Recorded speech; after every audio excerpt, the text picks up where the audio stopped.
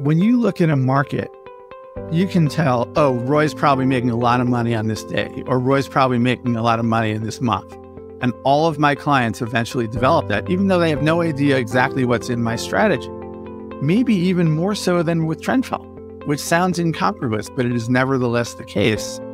And once you get that idea for short term trading, then it becomes very easy to keep in a portfolio. And I think one, the burden of short term managers is to provide clients that comfort. And it is a it's a higher bar than just, oh, stocks are up, so we're long stocks. Uh, so we made money because we're long.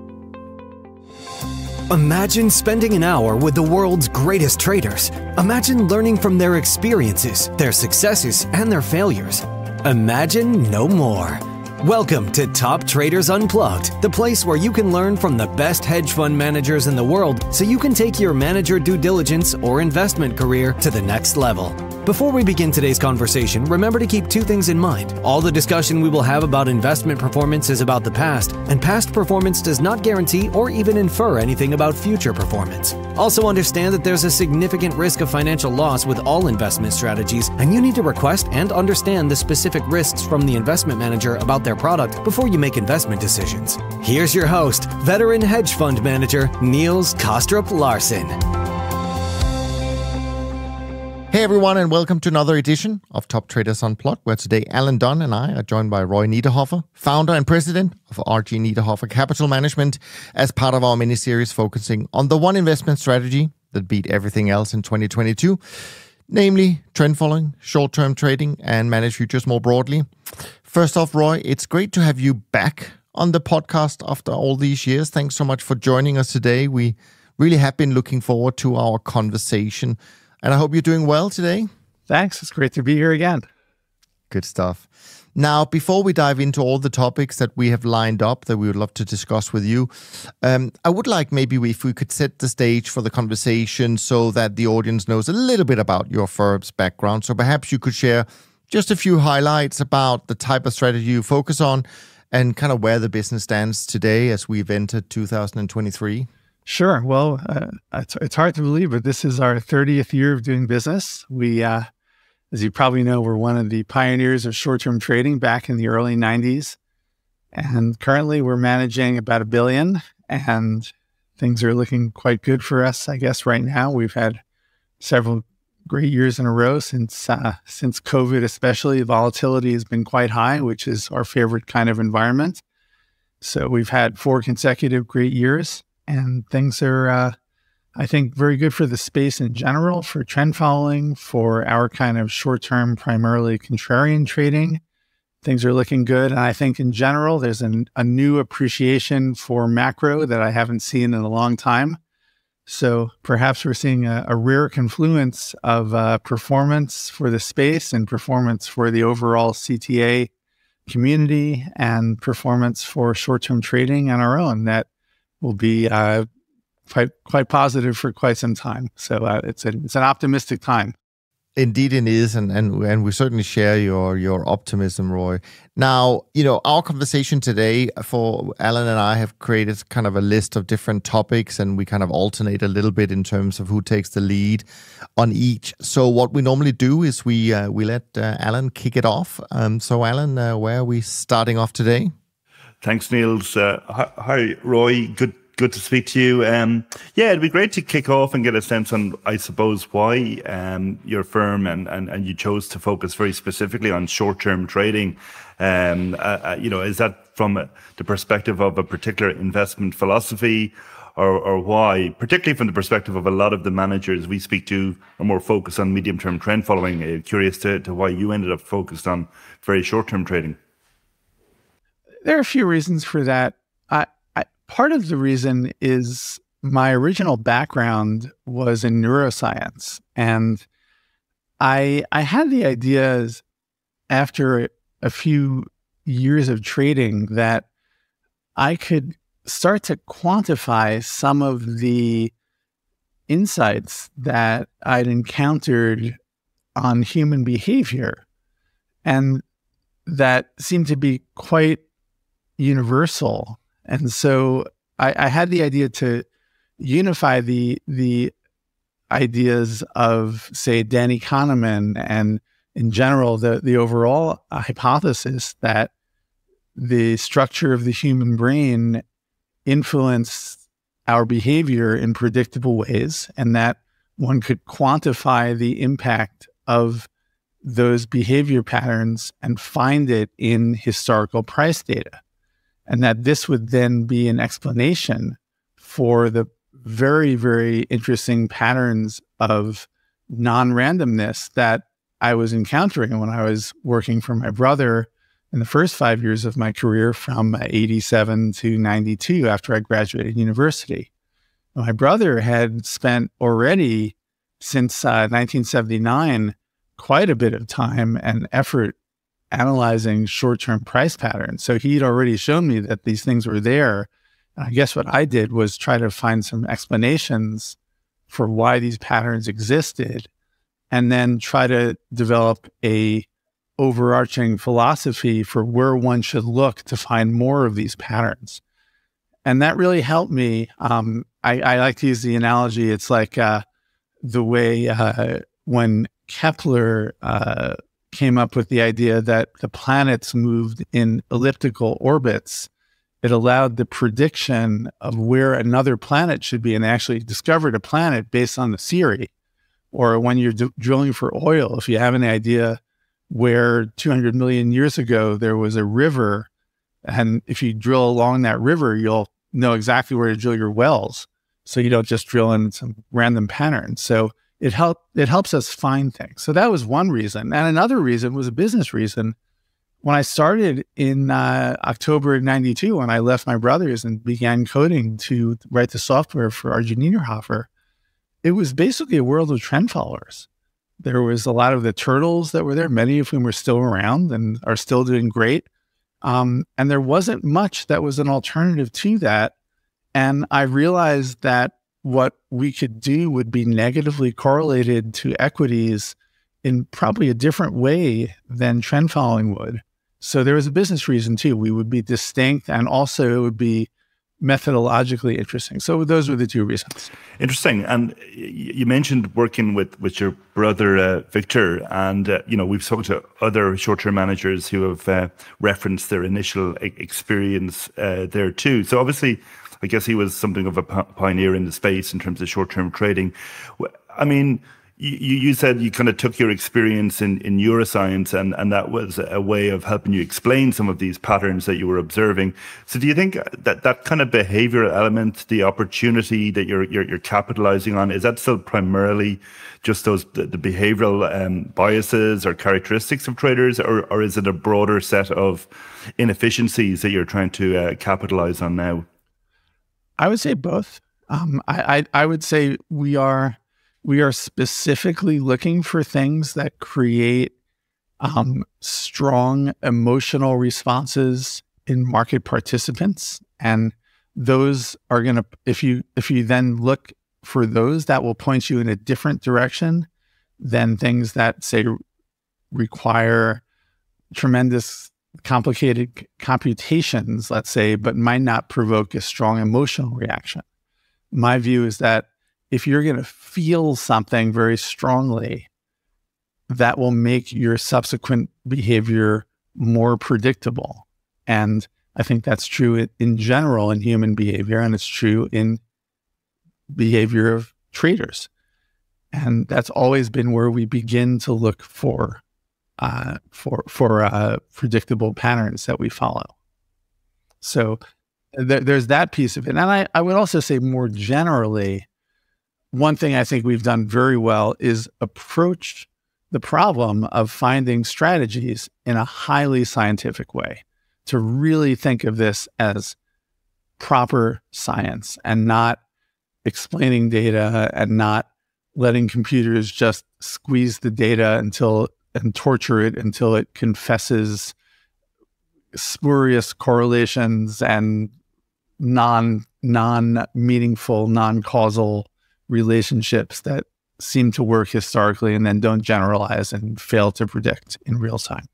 And you mentioned being in business um, 30 years now, which is is quite an achievement. Um, and you, obviously, you've seen a lot in those 30 years, many ups and downs. And, and, and I guess short term trading has had ups and downs in, in, in that period too. You know, even in the last kind of 15, 20 years, we've had a couple of periods, a couple of lengthy drawdowns. I mean, is that just part and parcel of of of, of these strategies? Uh, you would think if these biases are, are prevalent in markets, um, should they be more persistent, or is it that these biases and these opportunities are more to the fore in, in particular market environments and, and when volatility picks up? I, I think there's definitely overall a correlation to realized volatility in all short term trading approaches, in that the market's got to move enough so that you can overcome your trading costs. And unless you're just selling volatility in the options market, it's going to be very difficult to make money if the market is flatlining and not moving at all. And certainly, the, I don't think anyone in the short-term space really appreciated how how much the central banks were going to crush realized volatility with, with QE and and then all the different versions of it that that transpired later. And so what was a normal cycle of high to low and cyclical volatility that persisted until 2009 it became just a, a almost a, a, falling tide of volatility like a california drought that just went on and on and on and on until 2019 with a couple of you know maybe 13 to 15 there are some good trends in there and an occasional burst in 18 i can point to a few examples that i remember well but basically from especially 17 and 19 i think it got to the point where a lot of people just gave up on short-term trading and i think one of the one of the great fallacies is to believe that there are no behavioral biases in systematic trading you know one of the questions i get is you know how if so many people are doing quantitative trading and and everyone's automated and everyone's systematic how can there be behavioral biases? Well, one of the behavioral biases is it's hard to continue to do systematic strategies that aren't performing as well as other things in your portfolio. 17 and 19, all you wanted to be was short vol and long equities. And a lot of people gave up on their negatively correlated strategies, such as trend following and such as short term trading. And boy, was that a mistake in as the last three or four years has demonstrated. And unfortunately, many of the people in short term space were not even there to survive, we didn't survive 19 and 17 and weren't there to participate, which is really a shame because there was there were so many good strategies that could have made money and many investors did, were not able to hold on to them for that great run from 20 and onward. Yeah, I want to dig into a little bit about kind of how investors look at these strategies. But before I do, based on what you just uh, mentioned here, Roy, I'm I'm curious, what made you believe in it and continue to believe in it? Because as you said, it was such an unprecedented long period of challenges for short-term uh, trading. Um, so, what made you think that at some someday this was going to change? That's an interesting question. I guess I have tremendous confidence in seeing decades of the of, of the models succeeding.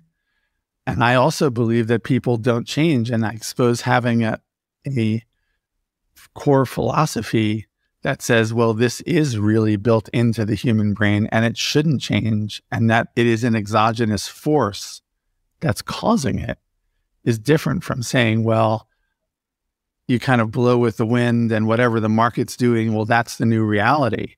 If you have a philosophy that you believe in and you have a reason for sticking with that philosophy, it does give you the strength, perhaps, to continue to follow it. And so maybe we were a little stronger and not change and not feeling the need to change. Um, so that that could have been it. It also could have been that we got lucky. You know, I don't want to attribute great skill to what could have been just me being stubborn or, you know, not coming up with an idea to do something else. Whereas, you know, other people might have said, well, I should maybe buy a baseball team or something else.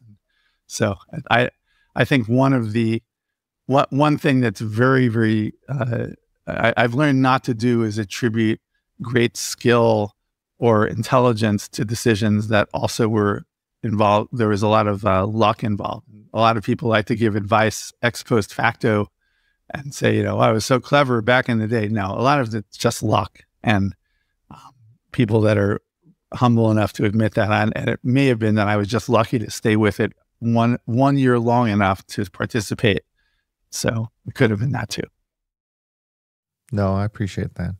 Now you you you mentioned this thing about uh, investors' ability to hold on to a strategy, and and I've referenced a paper that uh, Cliff Asness and, and our friends over at AQR wrote uh, last year, which talked about you know different things pertaining to to trend following in particular, but also um, kind of what uh, investors want. And I don't want what I'm going to say now to suggest that that's exactly what they wrote in the paper, but it it kind of leads to the question um, because I think one of the questions they raised is, you know, are managers becoming too concerned about the Sharpe?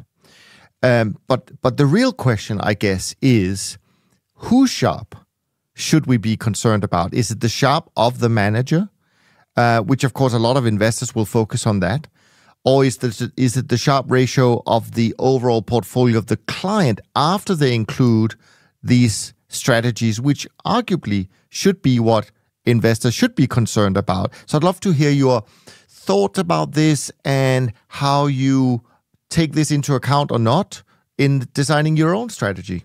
Sure. Well, I, I think perhaps uh, to a fault, maybe more than almost anyone else out there, I have been a hedge fund that actually hedges. You know, I, if I were to go back to my 26 year old self and give 26 year old Roy some advice, I would have said, you know, where it says start a hedge fund, don't listen to that word. Just be correlated to the S&P like everybody else.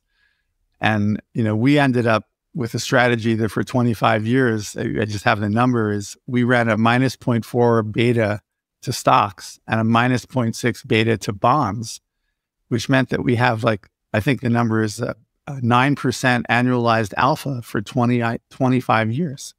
Very few hedge funds have produced 9% of annualized alpha to stocks and bonds each for 25 years. That's a tremendous track record. The problem is, I did it with this negative beta. So it became very hard for investors who weren't able to look at it on a portfolio basis, which is what I thought they would do. I kept telling people when they'd invest, you have to look at this on a portfolio basis, but that's not what they do. One of the questions I like to ask people is, what's the Sharpe ratio of your health insurance? And they think for a second and they come back with, oh, it's like minus infinity. So, what does your investment committee think about your health insurance as a standalone investment? And, you know, from an investment committee perspective, it's possibly the worst investment you'll ever make. And you should immediately redeem from your health insurance and your fire insurance and your car insurance. And yet everyone has them. And we never even think twice about it. One of the greatest experiences and most fulfilling experiences I've had in my career was getting to work with a great idol of mine, Danny Kahneman, who I first encountered in university as you know as a, an iconic figure in, in, in academia.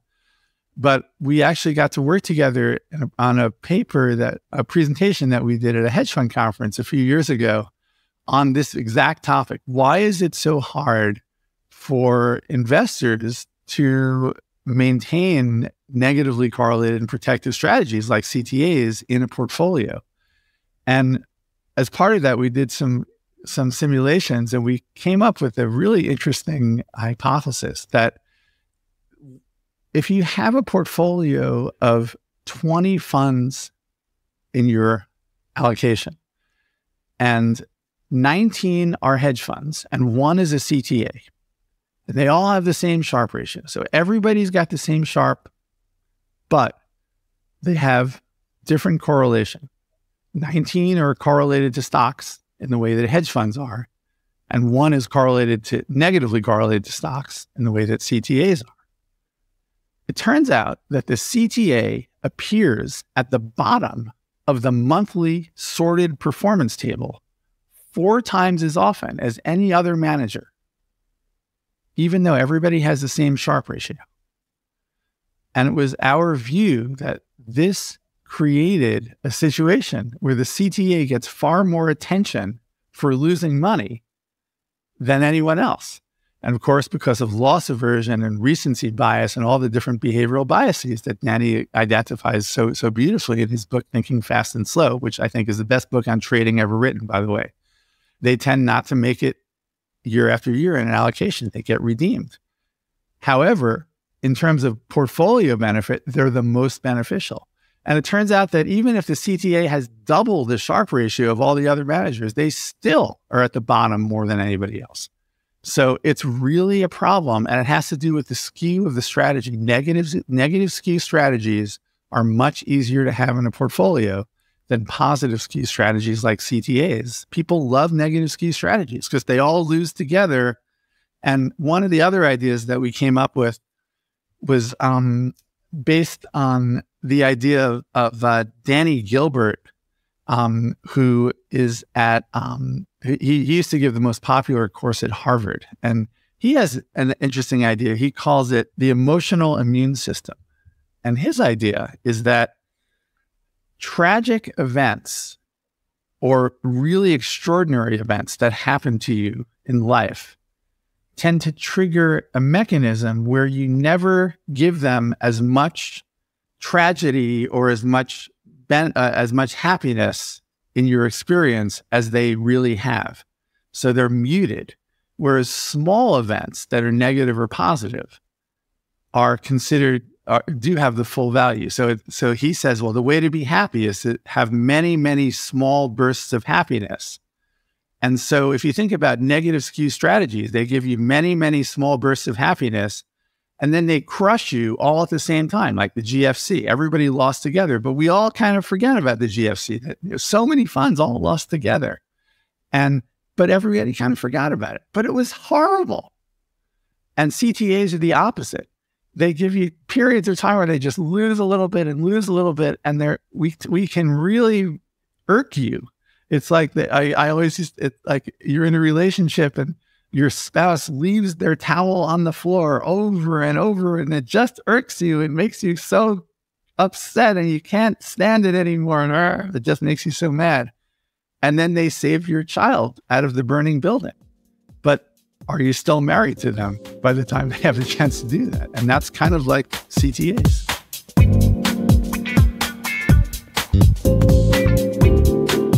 Now, I need to take you back in time because, as I mentioned, you were uh, on the podcast for the first time back in 2014. Obviously, very different environment, uh, very different time.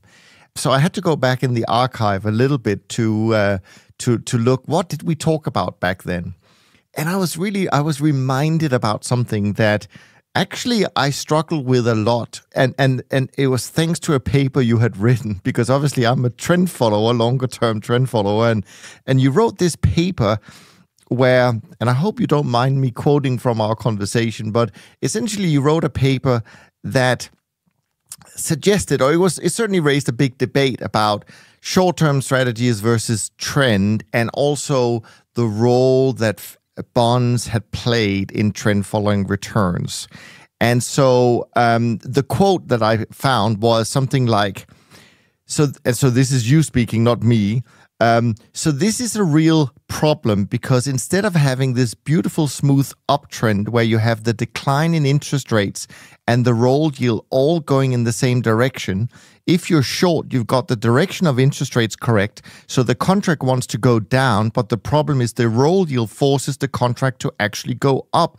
This destroys trend. You can't trend follow in fixed income on the short side. It just doesn't work. So now you have the question well, if two thirds or one half or whatever the number is of profits of fixed um, of fixed income from CTAs came from being long fixed income, and now it's going not uh, it's not going to work. What uh, well, what is going to work? So. Of course, there was no comeback to your argument back then because we had not been in an environment where fixed income markets had had real downtrends. But we have now tried that for a couple of years. has did it surprise you how well trend following performed in a rising yield environment based on the research you had done, where you had actually, I think, tried to reverse the data on bonds to get to to your uh, conclusion. Did it surprise you how well trend did uh, in in sort of once yield started to rise? Well, there there have really been a couple of a couple of tests of that. Um, the the first one was, believe it or not, a very the, the fourth largest rally in rates was from March 10th of 20 to March 19th of 20. You probably didn't realize that, but in fact, that was a 9% decline in the Barclays Global Ag Total Return Index. And it was the fourth largest ever, but it came on the heels of the massive COVID rally. And it was not a particularly good time for CTAs. There was no zero, uh, slightly down performance. It came after a big uptrend. So I, I wouldn't say that that was a good example of CTAs making money, but the big one was from January 26, 22 to June 22, where that index went down 14% and CTAs made 26%. So I would say I was completely and 100% wrong on that particular rally. So the one big test of my idea was not successful. And there was another decline of 7% um, from August 2nd of 22 to September 20th of 22 of 7%. That's the sixth largest decline. And CTAs also had a pretty good run. Now, so far, I would say that the evidence suggests that my idea was incorrect. Now, I don't know whether my theory is going to be true overall, because what I didn't postulate was an inverted yield curve environment, right? Because what I was suggesting was that in the yield curve is positively sloping 97% of the time, or it had been until 2020. And in an inverted yield curve environment, however, to be short, you're actually getting paid to be short. And that's what we've had for the last few years. So we've had the longest period of inverted yield curve in, you know, I, I think maybe ever. So in this situation, it's hard to say whether, you know, it really is a test. My view was that in a normal rising rate period where people have the, uh, the idea that the longer duration fixed income should be higher yield than the shorter duration fixed income, then it becomes very costly to be short. And you have to pay the roll yield to be short. So that's kind of the environment that I was talking about. I guess I never anticipated that we would have both the roll yield and the short position paying you. So it's kind of the opposite of what we anticipated. I don't know if I. Uh... No, no. I mean that's fine. I was just curious uh, if this has sort of sparked uh, ideas. I think your your point is is is well taken in a sense that that you you had not uh, put that into your assumptions that the yield curves can invert and and and I guess they didn't invert really until 2022, uh, as far as I recall. But the other thing I was thinking is that when we think about and, this is kind of going off script a little bit, but I'm I'm sure we can do that, and that is when you look at signals in general, and so you know this much better than I do, because we use back adjusted price series anyways, um, the signal strength will be impacted anyways to some extent by the roll yield, meaning that if it works against you, probably the signal won't be that strong. So your position size won't be that strong either. Uh, so maybe in a sense, there's a little bit of a, a, an adjustment mechanism in the whole the way we structure our models to to take into account that maybe not all environments are, are equal, so to speak. But you're right. If we get both, yeah, definitely we should be able to to make money. Right. Well, that that was my point that you that you wouldn't actually get sells because the the the mark the income markets have a natural tendency when the yield curve is positively sloping, they want to go up. So you wouldn't see the actual adjusted prices go down enough to give you a short position. Now, this time they went, this literally is the fastest tightening ever. So they gave you the trend signal despite, let's say in 2020, I, uh, I, I guess not in 2020 so much, but in 22, whatever the yield curve would have done, it still would have been a downtrend. Um, you know, who, who knows what will happen in the future? So I, it may take 40 years for my theory to be tested or not. And uh, so we'll see. But so well, hopefully we'll have you, we'll have you back before. is uh, a big plus for the CTA side, for the trend following side, and a minus for RG Niederhoffer. So. well, nobody's keeping score like yeah, that anyway. But most important, Alan, it's great for the industry. So everybody made money. We made money. That every trend followers made money. So that's really good. that is that is exactly the essence of it. Alan, where do we go next? Yeah, well, maybe um, obviously we're talking about trend, uh, and we're talking about all of these strategies as as as a group, but also, I mean, you've you've, you've mentioned on the role of CTAs in in a, in a broader portfolio and, and and the great diversifying qualities, and obviously, short term strategies occupy you know a unique space there in some senses, as you say, they tend to do well in rising volatility periods. Um, they can do well in trend periods too. And then they, you know, so so if you're an allocator looking at the the, the range of options open to you, you have trend, short term, but also you, you also have tail risk type strategies and and, and option trading strategies. Um, so I'm curious to get your perspective on where you think short term trading fits vis-a-vis, say, volatility and tail risk uh, type trading, and, and, and why did you focus more on the on the um, on the futures trading as opposed to options trading um, in terms of executing that kind of uh, the, long long vol type uh, uh, um, exposure? Well, I think that there's for for a lot of options strategies, you want to get into those strategies when vol is low, and when once the market starts to get volatile, it gets super expensive to enter those strategies. I imagine, you know, in say like uh, I don't know May of 2008, trying to buy a, a tail risk strategy, forget it. You, you know, you're talking about VIX of 40 or 50 or 60 by that point. There's there's just no way you're going to do anything in the options market with premiums that expensive. No tail risk strategy. You, you know, you want to be short volatility at that point. Whereas a short term strategy that has the ability to trade futures can do even better. I mean, I think our Sharpe ratio from May to November was one of the highest that it's ever been. Versus, I can't imagine anybody made money being long options from May to October, May to November of that year, um, in in, uh, in the tail risk strategy. So, I think they're they're completely different, and they have different uses. Um, I think the the duration of strategies from short term to long term are going to have dramatically different outcomes. I mean, look, this month is a perfect example. I think, you know, we have we had like a, I, someone told me it was a 20 sigma drawdown in in the CTA index or something like that this month.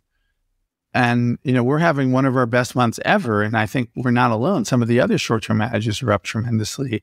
Um, we're having a double-digit up month, and probably it's maybe the third worst month ever for the CTA index. And another month like June um, of last year, I think was an, was similar, where you had a tremendous reversal off the the extreme. In that case, it was also fixed income coming up off the lows of the trend, and short term strategies can get rapidly in the other direction and can have a real diversifying impact. And that can happen in equities on the downside, whatever it is. So I think it, it's really important for people to have a diversity of duration in a CTA allocation and not think that trend following is just having five different, the, the diversification is not just having five different trend followers. Um, you know, that there can be some diversification there based on allocation, but the reality is in a trend that's extreme, you're going to end up with all of your long term trend followers fully invested at exactly the same time, maximally, as everybody was short fixed income at the end of February. And if the trend ends rapidly, everybody's going to lose at the same time. So there is that risk factor. And a lot of the short term managers are able to be, and you know, in our case, we had actually proactively increased the amount of counter trend, knowing that there had been such an increase in trend following just on the basis of returns the prior year. Trend followers had made 40%. So we said, well, wait a minute, the trend following, the trend reversals are going to be bigger. So we should really go the opposite way. Um, but that's kind of how we think. But I think every one of those strategies, short term, trend following, long vol, tail risk, has its own benefit. Where we sit has been we have really focused on the specific tail risk qualities that our fund produces. And in our case now, we are talking about being two sided convex and both for stocks and for bonds. And we've been very explicit. We've always been really explicit about our tail risk qualities to a fault, I would say, um, more so than just about anyone else out there. And again, I would probably go back to my 26 year old self and say, don't hedge. Like, you know, don't, don't try to be negative 0.4 beta to stocks.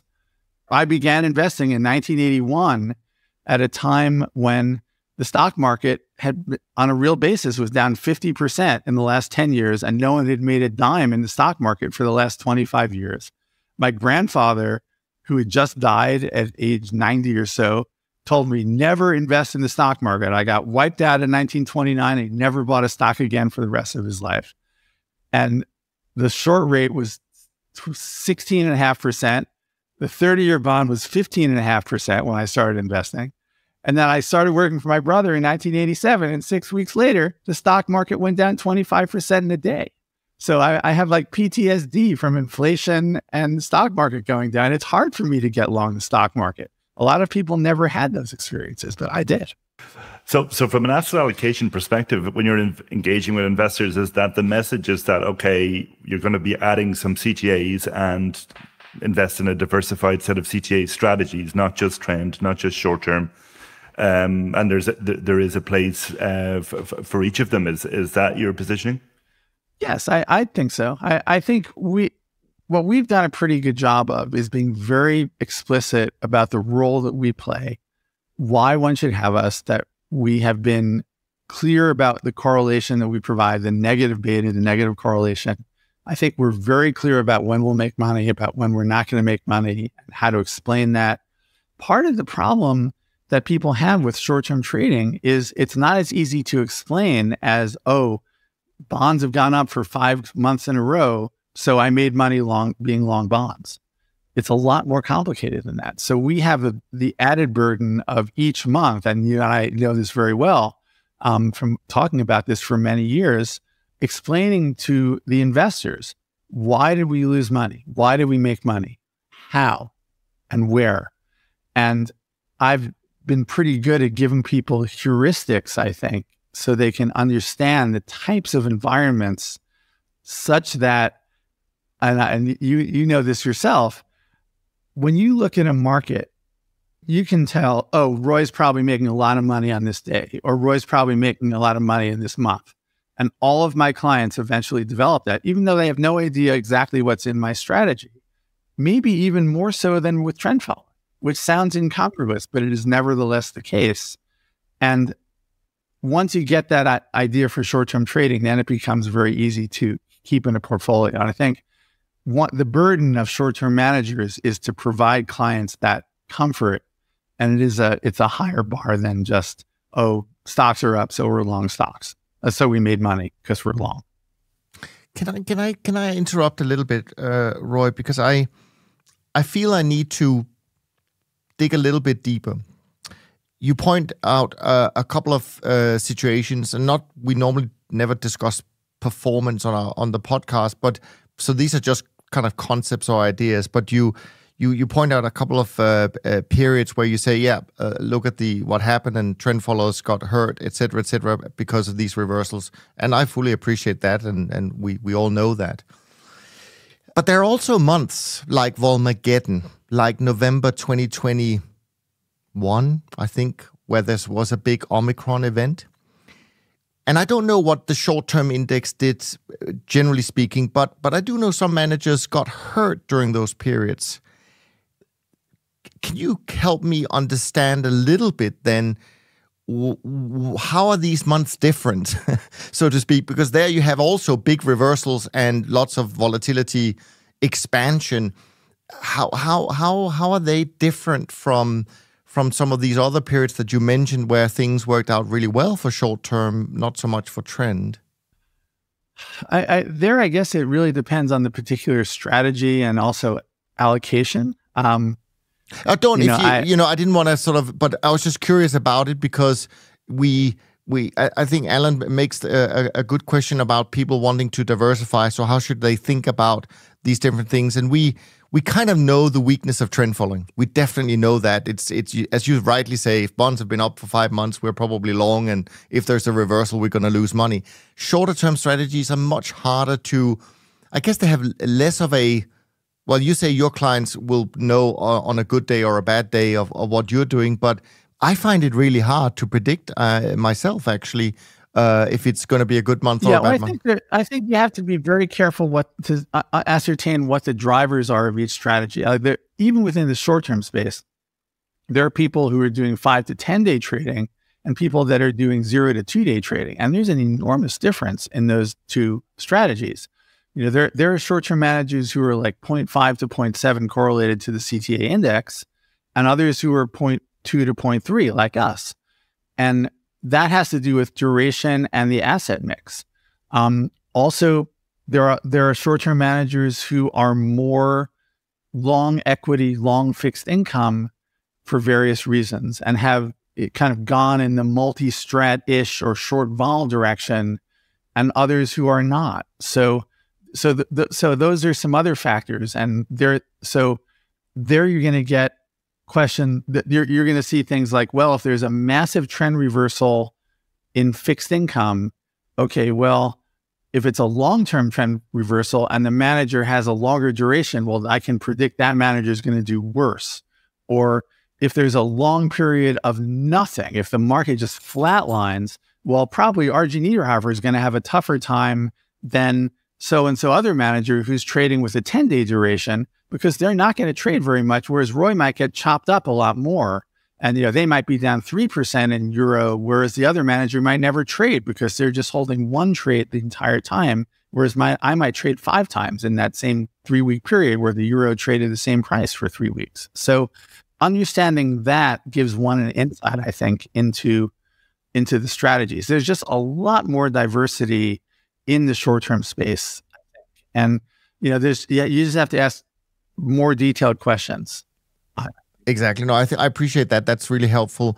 Um, you mentioned this trade frequency, and and one of the things we've certainly picked up from uh, a couple of the other short term managers that uh, has been in this series, but also actually some of the bigger uh, longer term managers is that they spend a lot of their research time. In fact, some of the biggest ones have said it's the biggest chunk of what they do in research is execution.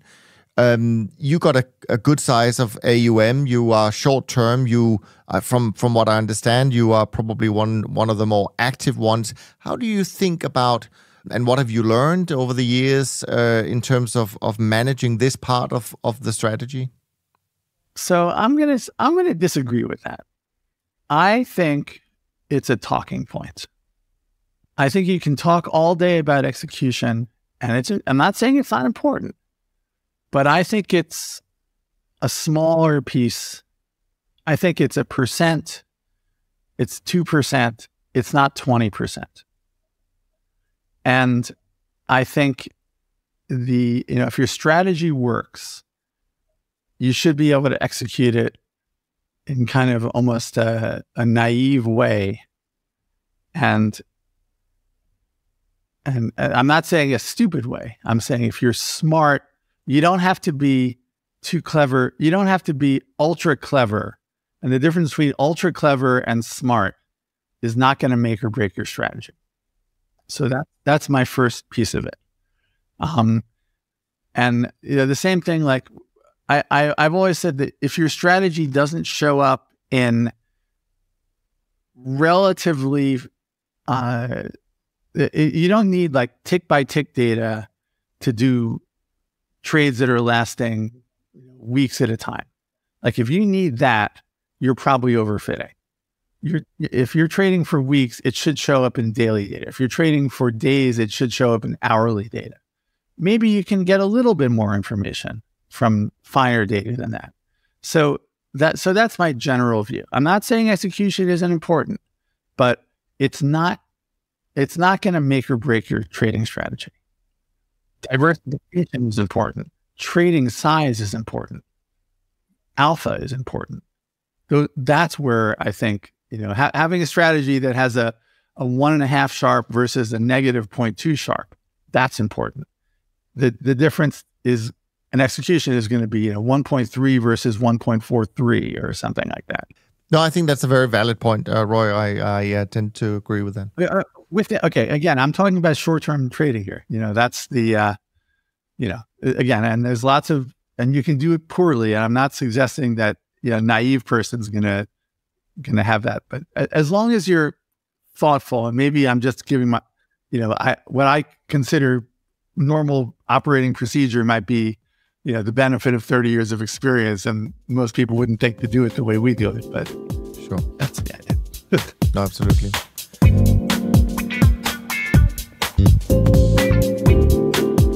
And do you want to continue with the research? Yeah, well, we haven't even started on research, I think. Um, well, one okay, thing I wanted sorry. to talk about, which um, delves into a couple of these topics, is I guess, yeah, I mean, picking up on the point about the performance profile. Um, you know, and and but but but also the kind of the multi-strat nature of short-term trading being short-term momentum, but also contrarian, and also another topic which is machine learning, and it's it's obviously been a topic that's been very much to the fore recently. Uh, you know, in recent years, everybody's been very enthusiastic about what it can possibly bring, and, and and I think that's something that that Roy has incorporated into his um, portfolio. Um, so my question is, if you go back to maybe to talk about maybe the, the February 2018 type environment Volmageddon, which was a tough month for short term, um, and you know, so that's a month where you know, as an outside investor, you might hope short term would do well, but but due to a various uh, set of factors, um, is a short-term struggle. So how do you balance? You know, obviously, it's ultimately about balancing developing the best program with with, with, with absolute return, but being cognizant that that with this multi-strat approach and, and incorporating things like machine learning, there will be months where you won't deliver maybe that that kind of um, crisis alpha, for, for for want of a better expression. Uh huh. Yeah, I, I think that that was almost like an event risk uh, situation. Um, I, I think the nature of our world is which it, there there are always going to be exogenous periods, and it was it was certainly one. You know, I, you you wish you can, you wish you can go back and do it all over again. Um, you know, it turned out look it was it, it was the beginning of a burst of volatility, and you know, it turned out it was an up quarter for us, but I think our worst month ever in the middle there. But it was a, uh, I, I, I think me be a harbinger of what happened in 20 or, or right. Cause it was really the first time that they were starting to, uh, starting to think about reducing the balance sheet. Yeah. And when you get a month like that, I guess, okay, so, more from a research perspective, um, does that just, uh, is that just obviously a, a, a negative point on the distribution, or do you go away and say, okay, maybe we have something calibrated wrongly within the models? Um, what's the process for thinking about that? Because I know this is something that you have done with your main program, that you have kind of reassessed and reevaluated it. Um, is that does that tend to be driven by performance or a macro view, or your reading on how markets are trading? Um, that well, that month didn't change anything. We're cer- we certainly wouldn't want to make a change after that. But my macro view changed with um, the inflation and the clear understanding that we're going to have unprecedented and and completely uncontrolled debt to GDP as far as the eye as, as far as the eye can see and as a result, a central bank that is unable to bring interest rates to the level that they need to to control inflation. And therefore, the risk of massive upside in financial assets. Now, for a guy that's been talking about downside protection for his whole career, as I have, maybe more than anybody out there, to start talking about, uh oh, what about you know, I'm not talking about Venezuela or Zimbabwe here in terms of that kind of appreciation, but you know, what if we see 20 or 30% inflation because the US decides that they're going to print money to, we're going to have a $51 trillion debt in eight years. The next administration, this isn't 40 years or 80 years from now, it's eight years from now. The next president, if it's a two term president, $51 trillion. And that's just on the balance sheet, not the unfunded mandates of Medicare, Medicaid, Social Security, and veterans benefits, but just what's on the balance sheet. And if we're funding that at five or 6%, that's $3 trillion. What the heck are we going to do to fund that? And it means that we're going to have deficits as far as the eye can see, and it starts to become exponential. And my view is a risk factor that's never been there before is debasing the dollar, printing it to fund it. And that means we could have tremendous nominal appreciation in financial assets, not because stocks are so valuable, but because the dollar is becoming is inflated. So in that case, the guy who's been talking about downside protection more than just about anybody, I have to start thinking about upside. And what about how do I keep up with the S&P? And of course, this is a challenge for everyone in the hedge fund industry because if you think about what you know the, the HFRI hedge fund index, it's done a very good job of beating the S&P on a risk adjusted basis, but not on a nominal basis, right? The uh, hedge funds in general, not individual hedge funds, but on a as used basis, a, a portfolio of hedge funds as the way people use them have rarely outperformed the S&P, but they have a much higher Sharpe ratio, which is great when there's no inflation. But if there's inflation, you know, if, if you didn't make what, 8 or 10% last year, you lost money on a real basis. And if you're going to make 10 if you're going to make half of the S&P's return and the S&P is going up and half of its return is because of inflation, well now you're making zero. So my view is people in our business, in the alternatives business, are going to have to keep up with the stock market in a way that they never did before. And that means you have to be willing to take fully invested and even leverage positions long the equity markets in a way that one never did before. You can't just take 70, you know, 130, 30 positions or whatever that is, or and, and expect to and, and expect to keep up in an inflationary world, if what I'm saying is correct. But at the same time, I can make just as good a case for massive deflation. So my view is there's new risks out there, and I have to be very careful not to get too, you know, too negative or too. And so that's the change that we made to our strategy to make sure that whatever tail we get in stocks and bonds, we're going to be just as good as we've always been on the left tail of stocks and bonds. So, I mean, that, that's obviously a, a, a research um, project driven by a by a macro view.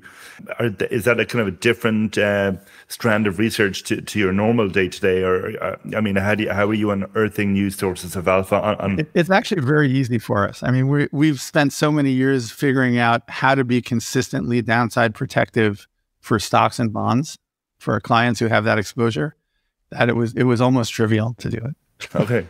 And uh, as I say, in terms of the, the, the types of strategies and insights you talked about at the outset, in terms of observing behavior, looking at new um, uh, trading strategies, un- unearthing sources of, of return. What, what's your main process for, for, for doing that? Is it from market observation, academic insights, combination of all of the above, or, or what? So I've hired a couple of neuroscientists recently, people with actual field experience for the first time. Um, we have a, a, number of people with more traditional quant finance backgrounds, and I've been hiring a little bit outside the, that that uh, that path more recently, and um, so that's one one aspect. But I think a lot of it is just market experience we spend a lot of time watching the markets, and everybody that works for me spends a lot of time in the trading room and running the strategy. There's not a separation between research and trading in my firm. And I think that's really, really important. My head trader, Paul, who's been with me since day one, was a former local on the COMEX and the NYMEX. And that experience really colors his his management of the strategy. And, you know, the same thing with me. I mean, I've literally traded every day since 1987. So it I, we think like traders, not like researchers. And I believe that this gives us a certain, I guess, like a, uh, you know, it's like how how can you do war strategy if you've never actually been in combat? Maybe that's the best way to put it. And I think it's very easy to think about strategy without understanding tactics and get it wrong.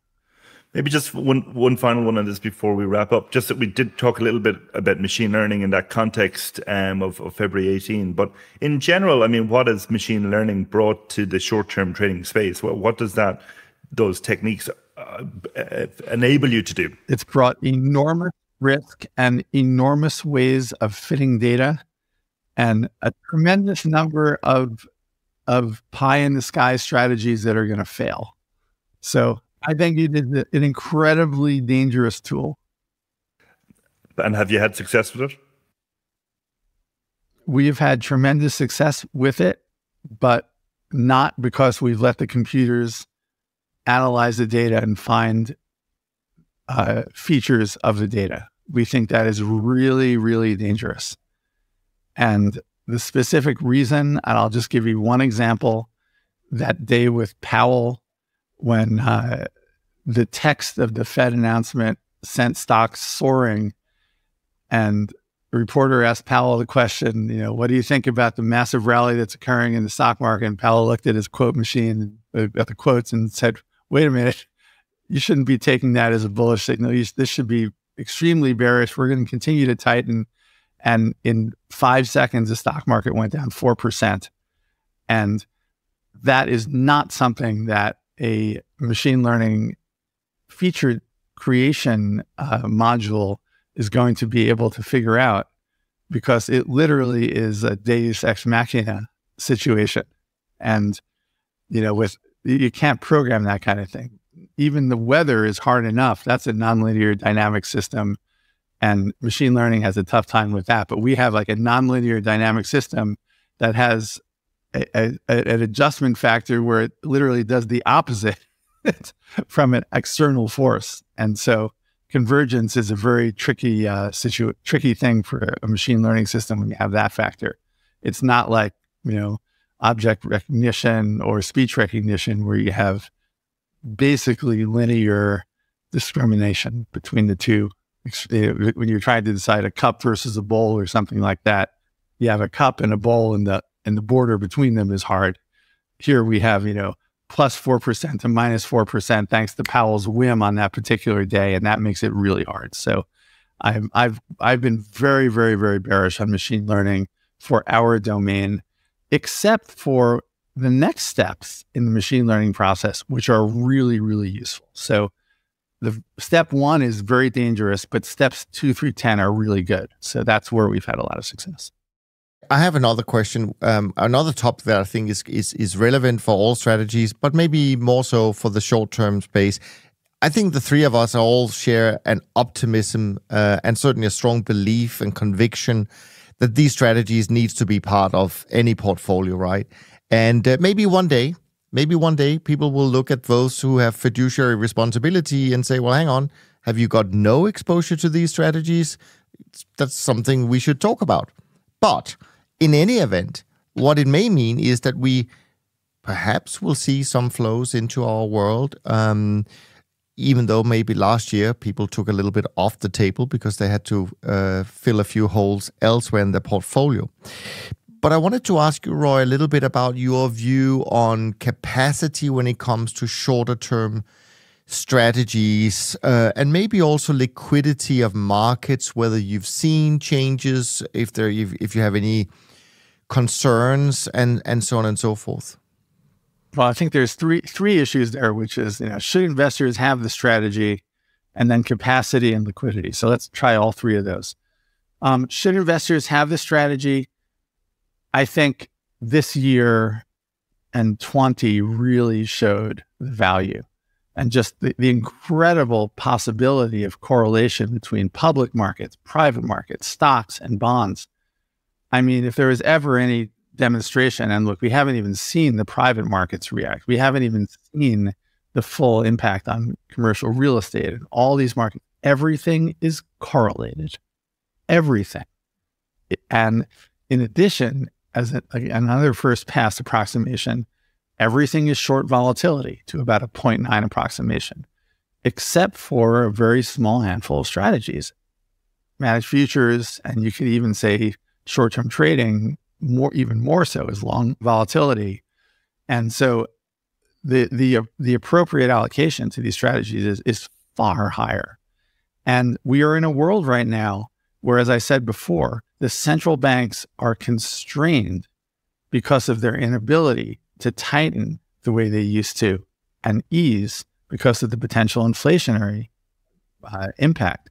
And therefore, these tails that they used to be able to bring in and create these cycles of mean reversion are no longer as thin as they were. So markets can really continue. And this is a tremendous case for trend following and for short term trading. The causes of volatility are much greater than they've ever been before. So I think risks are abundant now, far more than they've ever been before. So that's our rationale for these this two sided idea. And I think for for other people, and, and I think look, liquidity is something that people should be paying for right now. And you know, the idea of a, a REIT closing and suspending redemptions, the idea that you somehow are getting you know the, these these private deals that people are so happy to be invested in because they're not marking on a on a monthly basis or a daily basis. But we have to mark, and then people say, "Well, CTAs are too volatile." I mean, it's just ridiculous. And to think that on on in March of 2020 that the average private deal was not down 85 or 90 percent in the middle of March 2020, or on the lows of more recently. It's of course they were but they don't have to market. And the fact that CTAs were up or, or in these periods is just phenomenal. So, do we belong in these strategy in, in, in these portfolios? Yes, and a diversity across the space belongs in the strategy. It belongs in these portfolios. So the answer is unequivocally yes, much more.